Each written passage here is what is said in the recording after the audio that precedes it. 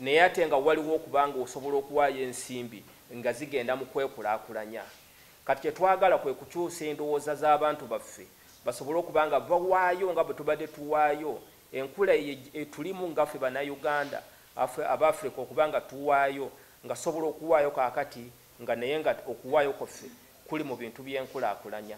Okutereeza amalwaliro okutereeza enguudo okutereeza amazzi biki biki.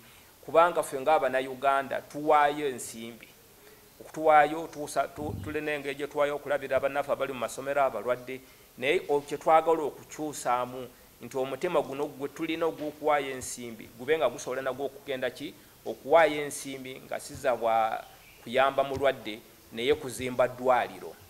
Ate nekirala kyetubadde twogerako nti abantu betubeera nabo mu byalo abantu baffe abantu owa nti olumusiza ensimbi eziva mu olwo abafukirira nga ebitongole ebirala ebituwa ensimbi. Naye nti abantu bennyini basobola okwekolamu omulimu ne basobola okulaba engeri ey'enkulaakulana banaagivuganya whatever we are doing now is to appreciate the power that is within all of us as Africans to bring about our own development and building on what is, um, what is ours.